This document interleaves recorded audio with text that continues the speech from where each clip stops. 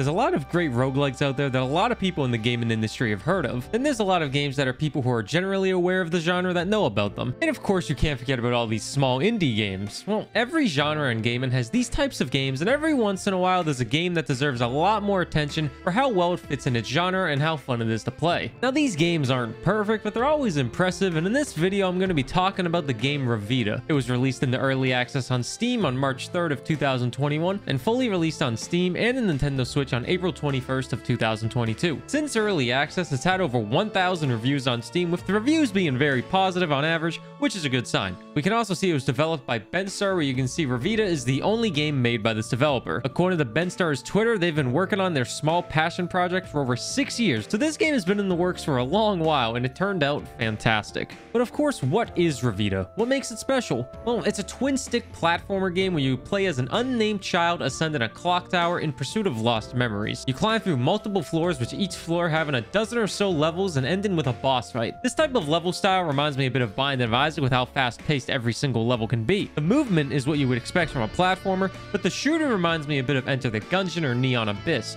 where you aim with the right or left joystick on top of shooting.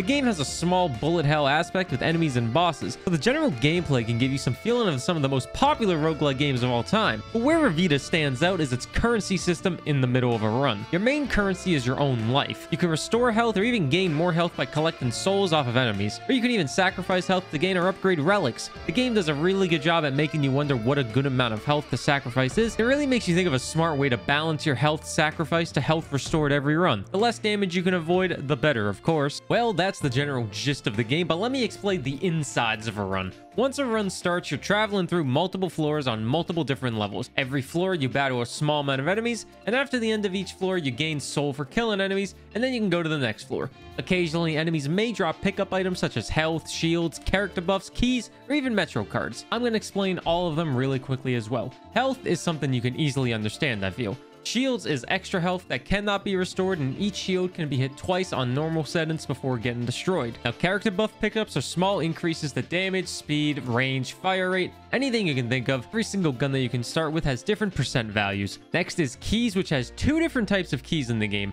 Firstly is a normal key which is used to unlock bonus areas after a room, which could give you a secondary weapon, a relic, a buff, a minigame, really a lot of different options and the more you play the game, the more options become available thanks to the contract you save for souls, which is another vital thing you can unlock with keys. When first starting the game, you will run into lost souls on almost every level, and every soul turns into an NPC that you can interact with inside or outside of a run.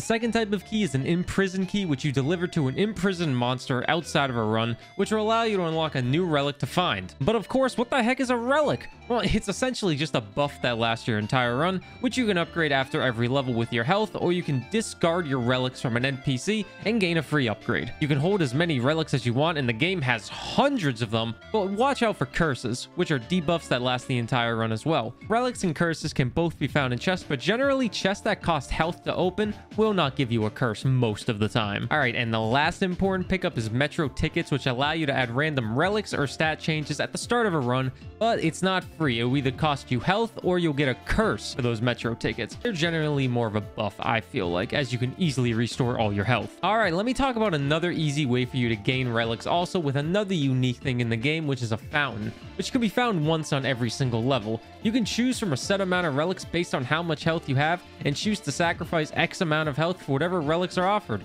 With the game having so many relics, I found the fountain much more reliable compared to chest, as I could actually see what relic I was getting. Really, other than all these pickup items and bonus rooms you can unlock with keys and all of this stuff, the runs are pretty simple. You kill as many enemies as possible, and once you run out of health, you respawn back to the Metro, and all the souls gained in your run turn into the game's currency, Soul Coin. Now, in the Metro Station, you can do a few things before starting a new run. Firstly, let's talk about the imprisoned monster, as you're probably a little curious about him. If you collect any imprisoned keys on your run, you can deliver them to the monster, and they will turn into relics you can buy with your soul coins. Once the relics are bought, though, they'll have a chance to show up in your run and newly bought relics will actually be on your character for your next run. I personally like that a lot as it lets you see what the relic does and gives you a nice little buff for the run. But with the Imprison, you can only have two relics from them per run, so don't buy more than two before any run. And other than the Imprison, soul coins don't have much of a use besides buying hats for your character which is cute, I guess. The only other purpose for them seems to be trading them in for materials from the Metro apprentices who are NPCs you get from the Lost Souls. I don't think these materials have a name in game, so let's just call them sticks,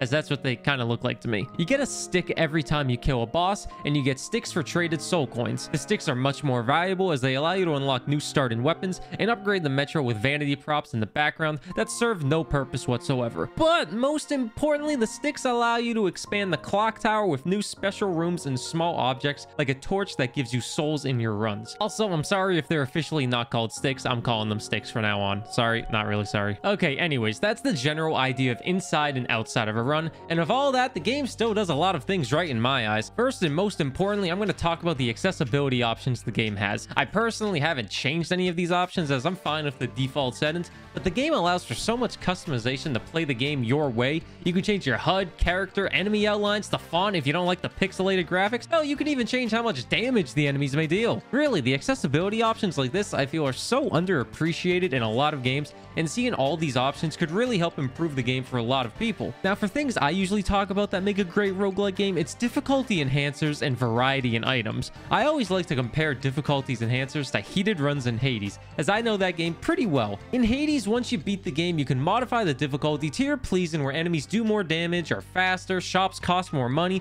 bosses have new movesets, really so much. And the more you change, the higher your heat will go. And a lot of successful roguelites have fun, fair ways to modify the difficulty, and Revita is no different whatsoever. You can change the difficulty via shards, and every 5 shards added will also add a blessing, which will increase the relic rarity or allow the metro tickets to be cheaper. To gain access to shards, you must clear the game first, and me personally, I've cleared it once in about 20 hours of game time, and only have access to one shard at the moment, so you need to clear the game multiple times to keep enhancing the difficulty, which I personally don't mind. The game has 38 different shards, not counting the secret ones, and each shard has a different level doing more whatever the shard does. And of course, the shards can buff enemies, traps, bosses, they can nerf pickup items and your character as a whole. I really love seeing the options to make the game as hard as you want, as it adds a lot of replayability to the game outside of a first completion. And of course, there's one more thing I really love in a roguelike, and it's a variety of items. This game has a good variety of all sorts of items with guns, relics, metro passes, hats, really you name it. Almost every starting weapon I've used feels pretty good and balanced without relics or buffs. Of course, later in a run, they feel horrible without relics or buffs, but that's just enemies getting stronger. But the starting weapons, they're all fine, and non-game changing items like hats are also fine. They're cute little cosmetics, and if you look at my Team Fortress 2 hours, you know I love some goddamn hats. The biggest concern for me, which will lead into the negatives of the game, is the relics.